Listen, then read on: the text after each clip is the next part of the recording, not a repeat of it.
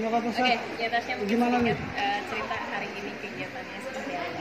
Ya alhamdulillah hari ini em, tujuh hari em, usia anakku Arasya Wadana Baktiar kita mengadakan tasyakuran akikah akikahnya sendiri untuk kambingnya udah dilakukan dari siang dan malam ini sekaligus buka puasa bersama anak yatim kita mengadakan tasyakuran tadi juga udah cukur rambutnya Kak kenapa tujuh hari udah hadir?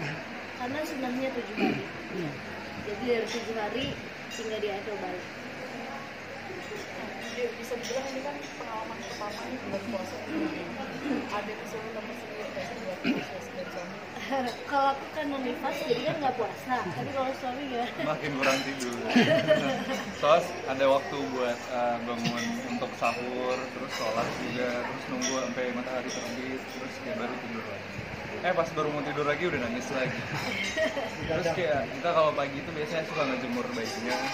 Jadi kayak sebelum jam 10 pagi gitu kan udah ngejemur. Jadi bangunin lagi. Jadi bangun lagi. Ya penuh tantangan lah di bulan Ramadan. Kaget gak sih dengan ritme yang baru ini?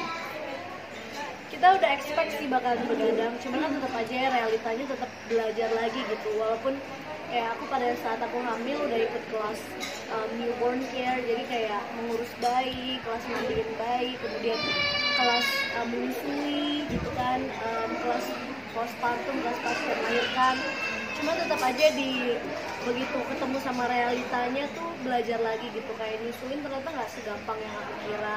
Ada juga tantangannya dalam menyusui gitu. Terus kayak yang begadang-begadang gini walaupun udah dengar cerita banyak-banyak orang tapi ternyata baru kerasa kayak capeknya. Makanya kemarin juga aku suaranya habis gitu kan karena pas dari rumah sakit aja tuh udah ngeladenin tamu. Al- alhamdulillah tamunya emang banyak yang berkunjung. Kita kayak di rumah sakit sampai jam satu malam gitu masih ngeladenin tamu Em, terus pas nyampe rumah kayak udah bener-bener tepar akhirnya. Nyampe rumah juga adaptasi lagi kayaknya bayinya kan dengan suasana yang baru beradaptasi lagi. Dia kayak ada sempet malam-malam nangis kayak dua jam nonstop kita belum ngerti maunya apa totonya dia pup gitu jadi eh, masih belajar lah. Acara hari Senin hari ini juga uh, masih menyiapkan atau sudah Eh, orang tua sih sebenarnya menyiapkan gitu. Kita em, kita yang mengusulkan maksudnya nanti pas tujuh hari dihitung hari lahir em, kita mau mengadakan akikah gitu. Terus tolong ya mah ibu gitu em, siapin semuanya kayak eh, tolong hubungin catering tolong hubungin eh, yayasan yang bisa biasa menghandle akikah ustadz apa segala macam.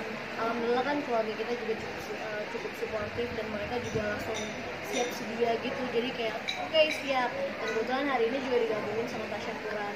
Kakak iparku juga lagi hamil gitu kan jadi sekalian. Masih eksklusif.